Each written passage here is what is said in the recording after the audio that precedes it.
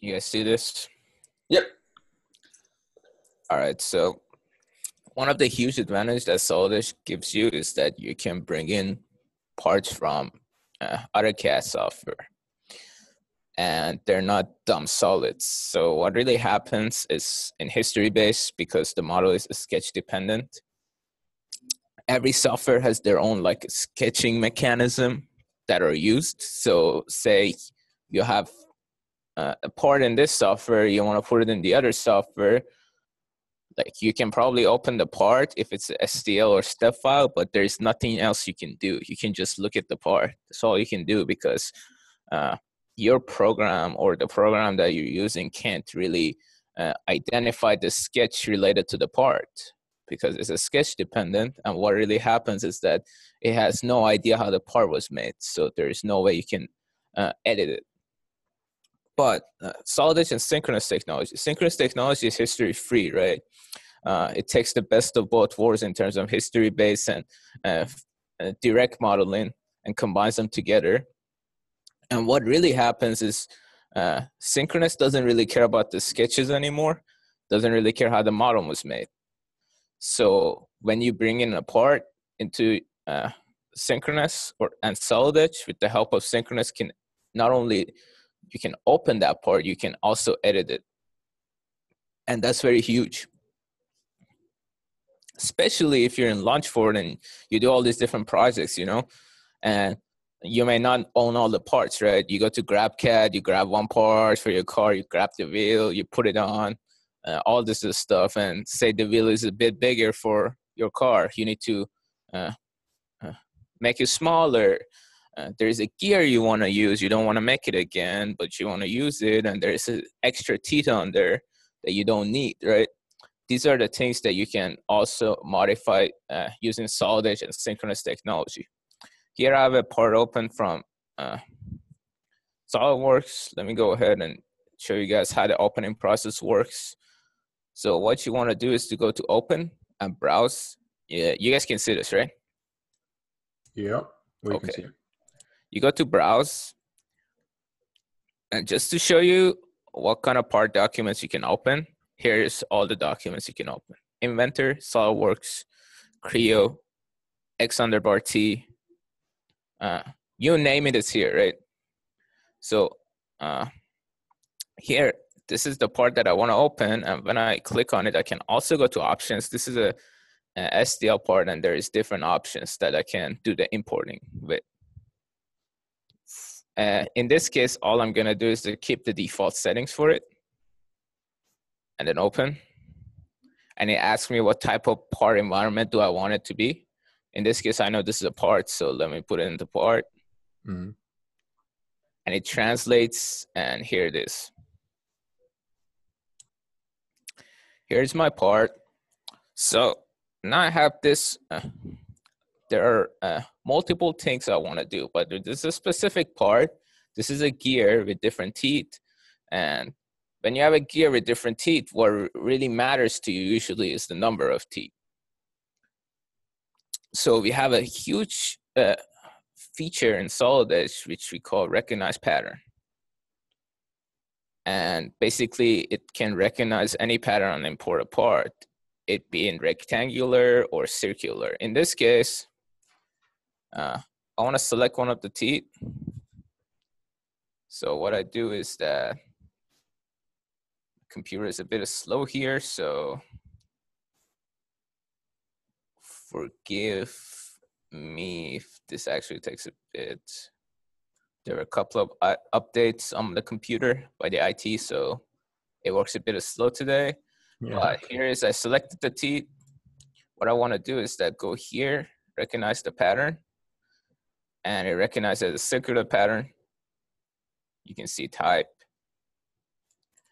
So I accept it, and then I can have a pattern in my Pathfinder now, and it tells me there is 28 teeth here.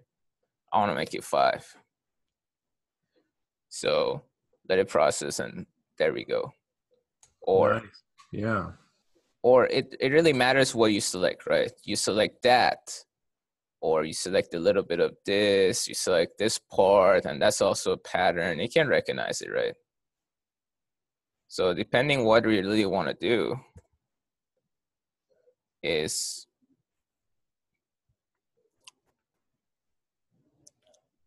you can do whatever you want to make it uh, larger, make it smaller, do whatever you want. So that's how the recognize pattern works, basically. You can recognize any pattern that you have and just play around, right?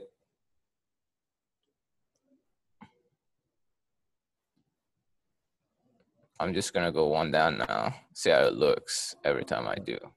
So you can just play around and figure out what's the number of teeth that you like. But not only can do this, you can do uh, rectangular patterns as well.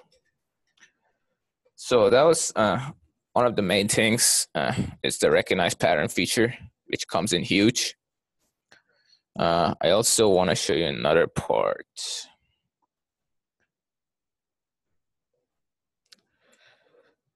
Let's see.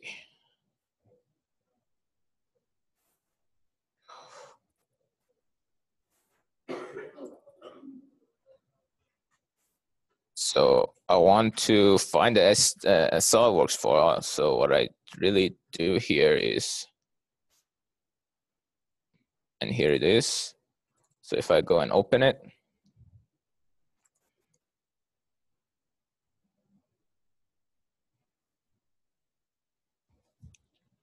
here's the part, right?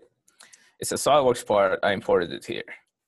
The so first thing let me do is I want to go ahead and change the color of this. That's very easy using the part painter. Let's make it blue.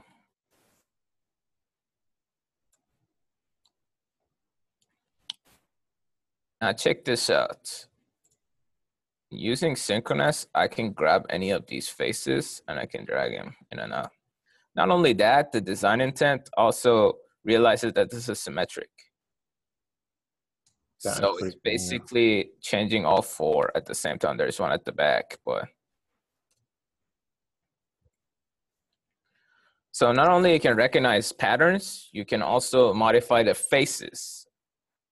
And if that's not enough for you, you can go ahead and use the smart dimension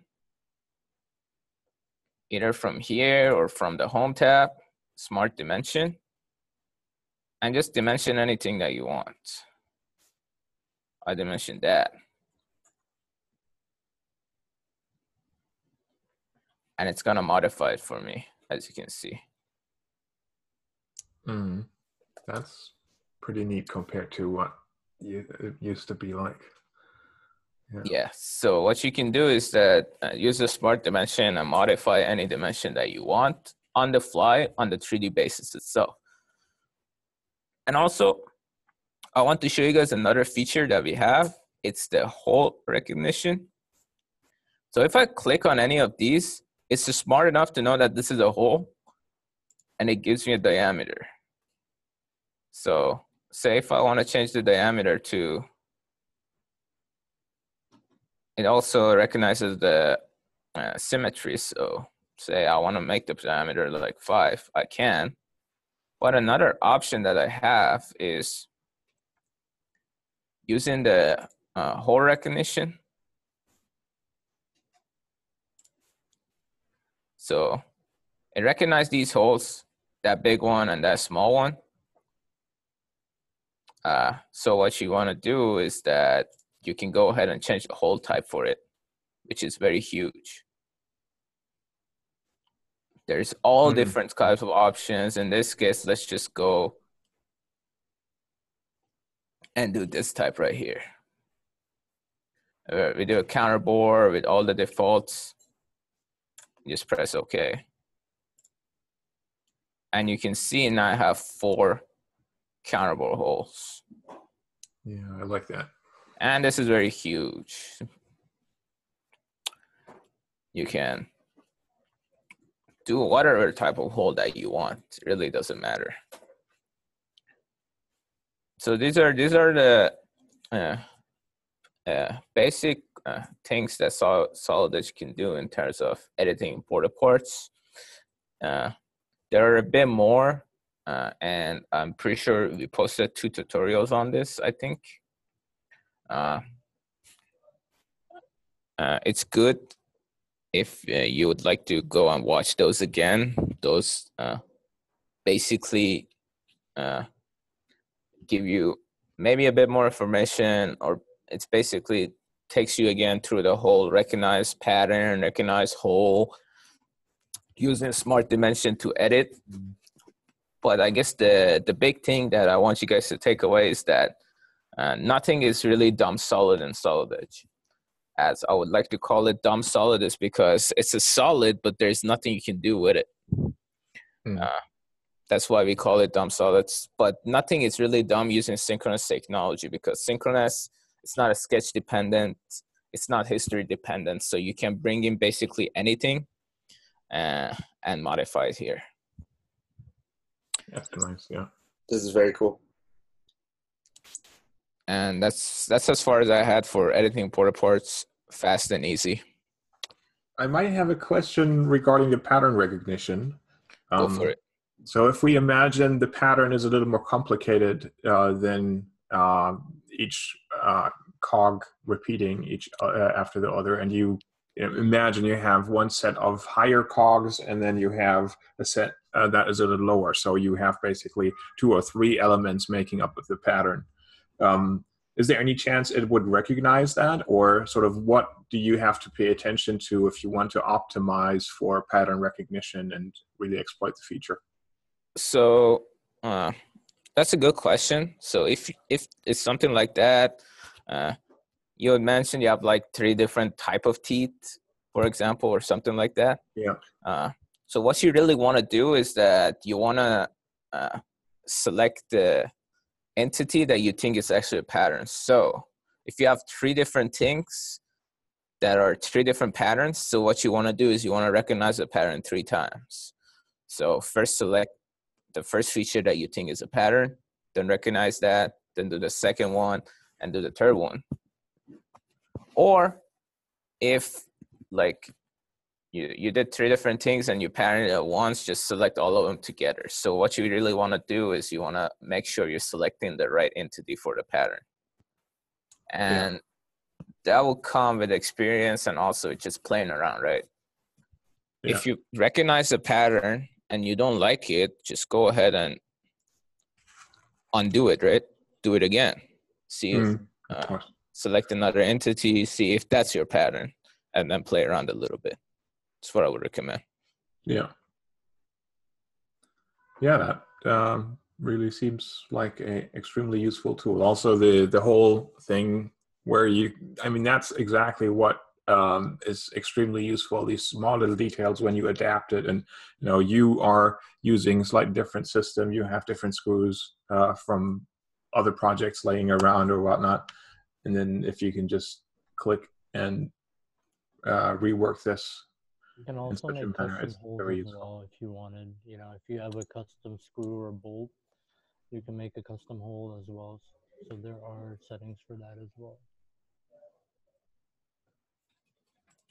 yeah the the whole pattern recognition is uh, is very powerful i would say there are there are way too many holds options that we have available so anything from metric inches whatever you want so it's right there nice. yeah for me that's all pretty straightforward clear and useful. Same